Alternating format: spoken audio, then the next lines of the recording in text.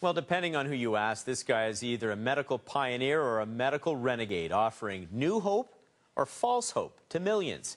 He's Dr. Paolo Zamboni, the man behind a new theory on multiple sclerosis that's blowing conventional thinking out of the water.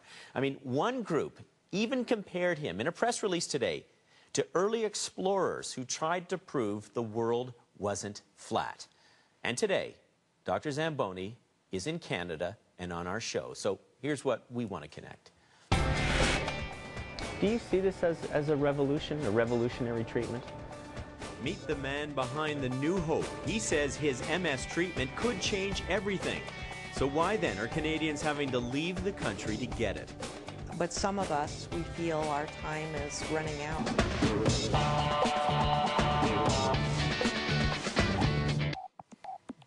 Hi, I'm Mark Kelley, and welcome to the show. Well, it's a debilitating disease that affects between 50,000 and 75,000 Canadians, the fifth highest rate in the world.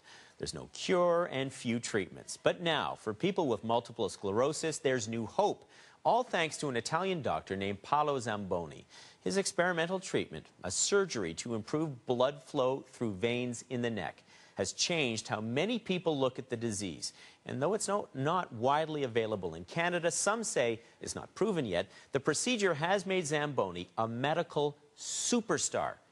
Tens of thousands of people are expected to take part in an online conference he's attending in Toronto tomorrow. And Canadians with MS are finding ways to have the surgery in other countries.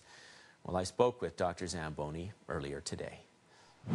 You say you're just a physician, Yeah. but um, you've started something that looks, sounds, and feels more like a revolution. The, the, the people, the demand for people who want this treatment. Do you see this as, as a revolution, a revolutionary treatment?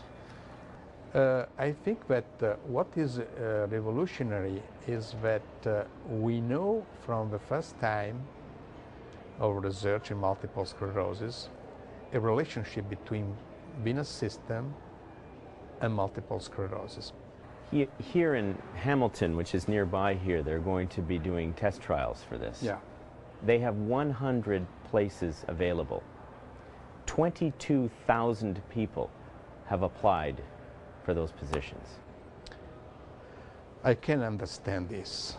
This change of experience is so amazing that I can understand if you should be an MS sufferer, you want to try. People want hope. Yes.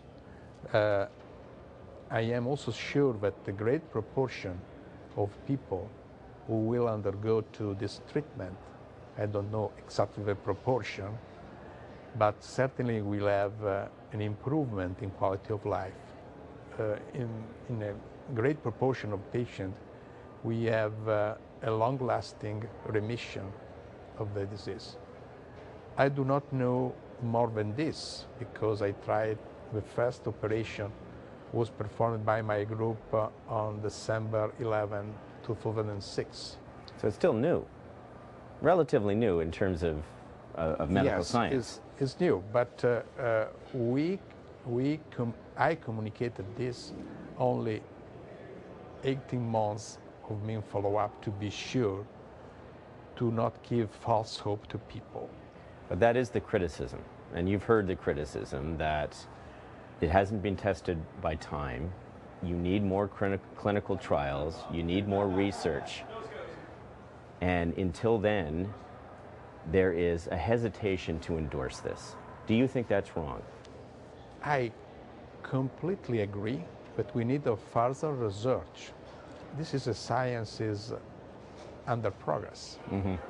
But, uh, uh, uh, But you also- I but you- cannot accept that you criticize me because uh, I communicate a discovery. You don't like your you don't like your critics, do you?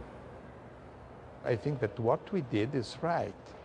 And uh, we offer uh, our experience to everybody, want to continue research, want to sharing, want to share knowledge with us, and also is interested in multi-center trials, because also a single center is not a good way.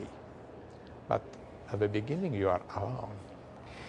People don't have the patience to wait. And science does take time. But people right now, they want help immediately. Canadians are going to Poland, they're going to India, they're going to get that treatment right away. What do you say to those people who won't wait for the trials, who won't wait for more research? In my personal opinion, I am an Italian, I am not a Canadian, but I think that government uh, could offer the treatment uh, instead of uh, hope uh, travel. And this is uh, really uh, uh, a duty of uh, the government. You, you're, you were inspired and motivated to help your own wife. Yes, this is certainly the, the beginning of the research. And how is she now? She is going very well. So you've, you've helped the, one of the most important patients to you then. Yes, but now I want to help all the others. Well, they're looking for your help. Thank you. Thank you.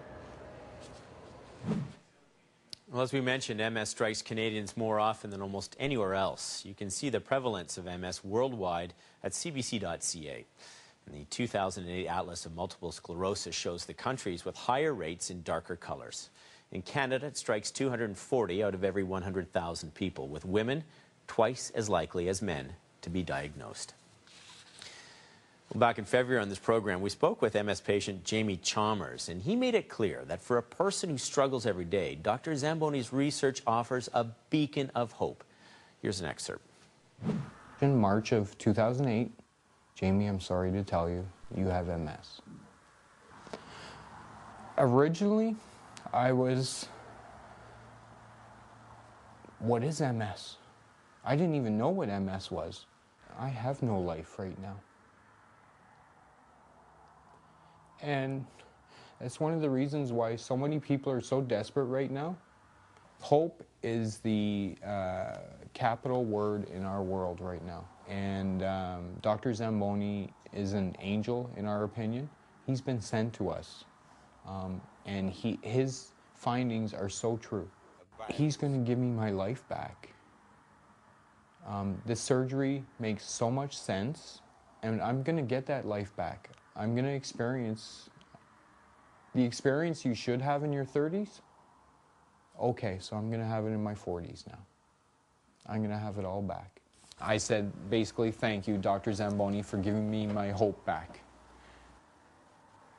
Um, and he just approached me and he kind of did a little like that and he's like i do this for you if it turns out to be the cure and at the same time if it doesn't turn out at least i tried.